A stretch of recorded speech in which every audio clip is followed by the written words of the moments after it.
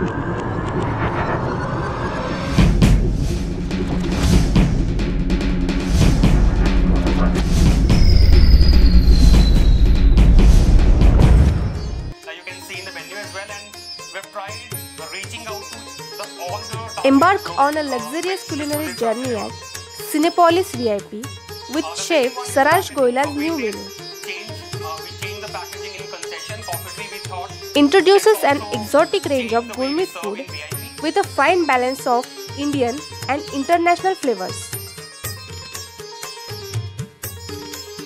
Cinepolis, India's first international and the world's second largest movie theatre circuit by attendance is set to redefine luxury gourmet at its VIP cinema through collaboration with the globally acclaimed chef Saransh Goila.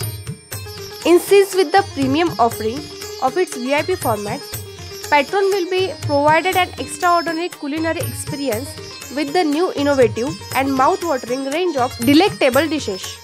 Packaging, uh, we did change. Uh, we changed the packaging in concession. Coffee tree, we thought, let's also change the way we serve in VIP. Uh, and this is how now the food is getting served in uh, all the VIP cinemas we have. And we have changed the way now food is being relished uh, in cinemas. Third is branding. You would have seen a lot of standees. Uh, you have seen a lot of uh, posters on digital. You have seen a lot on social media. But we have changed the way food now looks uh, in your plate.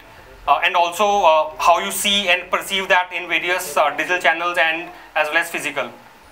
it's a great mix of what you would say comfort food because that's something that you like to eat when you're watching a film you're having fun you're being entertained and you're not necessarily looking you know uh, for a specific cuisine.